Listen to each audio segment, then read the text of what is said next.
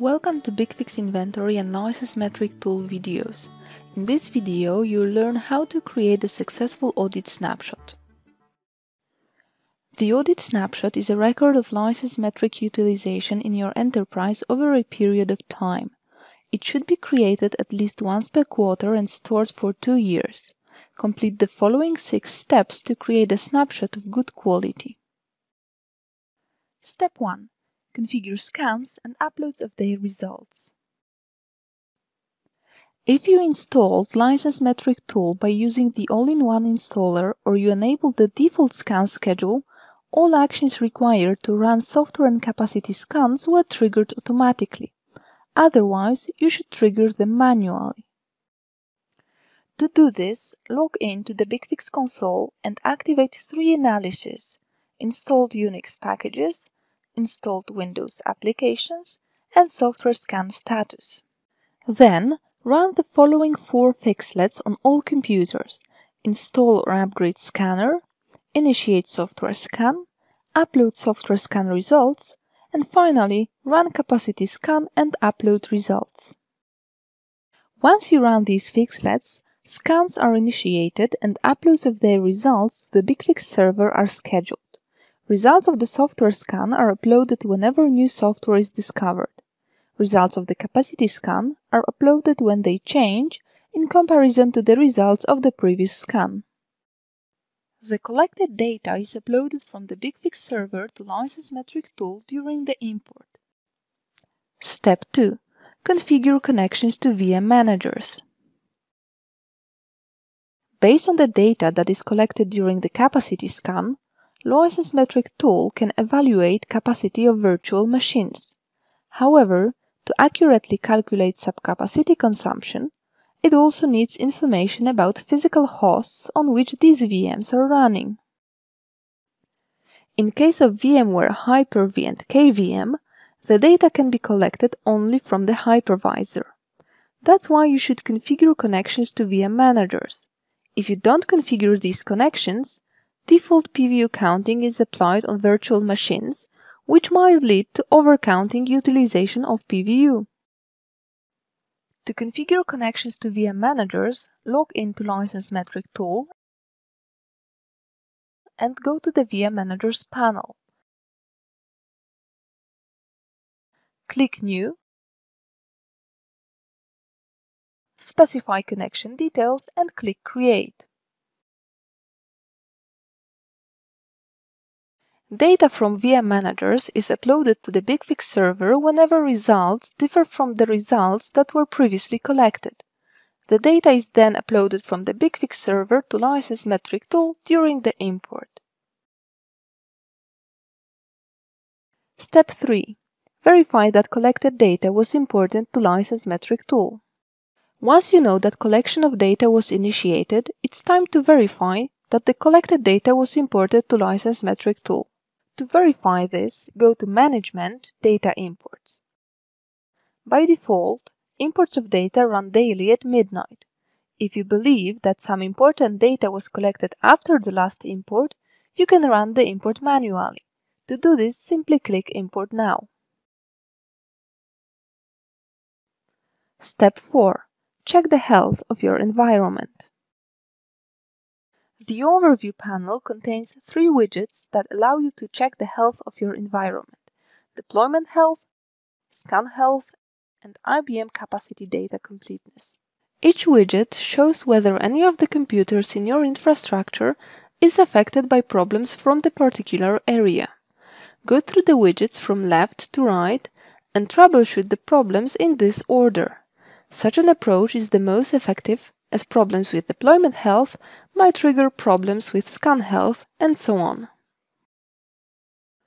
In big environments, it might be hard to ensure that all issues are resolved at the same time. Strive to resolve issues on the majority of computers. Having a few computers with reported issues is not a blocker for generating the audit snapshot. Step 5. Classify your software.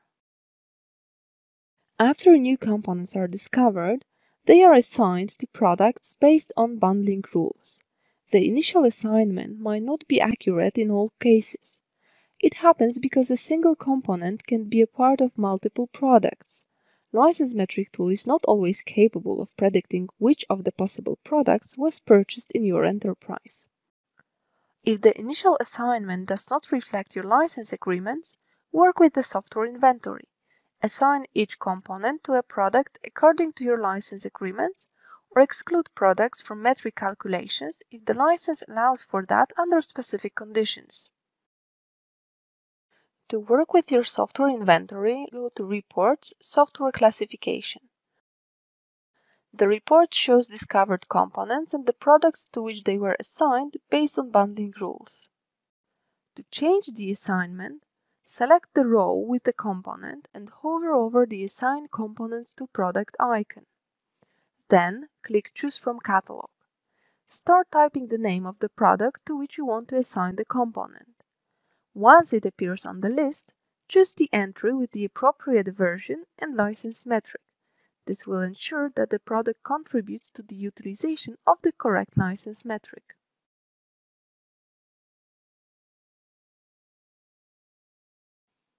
If the license agreement states that the product should not contribute to the utilization of a license metric under given circumstances, you can exclude such a product for example when it's installed on a backup or test computer. To exclude a product, select the row with the product and hover over the Exclude or Suppress icon. Then, click Exclude product from metric calculation. Provide an obligatory comment with the reason of exclusion and click Exclude. Step 6. Verify utilization of license metrics and create the audit snapshot. Once you are confident that your software inventory reflects your license agreements, go to Reports or IBM Metrics and check the utilization of license metrics by particular products. If you are interested only in PVU subcapacity, you can open the IBM PVU subcapacity report instead. To make sure that all changes to software classification are reflected on the report, click Recalculate. The button is active only if there are any changes to be processed. Then, verify the reported values. If they are satisfactory, you're ready to generate the snapshot. To do this, simply click Audit Snapshot. Once the snapshot is generated, store it in a safe place for two years. If you later on change any configuration that might influence the reported values, you can generate another snapshot at any time. You can generate as many snapshots as needed until you produce the one with which you are satisfied. Here's the takeaway. 1. The audit snapshot is a record of license metric utilization in your enterprise over a particular period of time. It should be created at least once per quarter and stored for two years. 2. To generate a successful snapshot, ensure that the license metric tool environment is properly configured. Verify that scans and uploads of the results are scheduled, connections to VM managers are configured, and the imports of data are passing. 3. Once you verify the configuration of your environment, classify your software. Verify whether the default assignment is correct. If not, reassign components to proper products.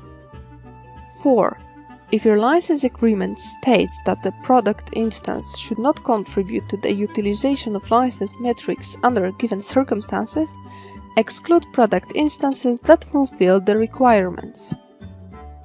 5. You can generate as many snapshots as needed until you produce the one with which you are satisfied. Thank you for watching.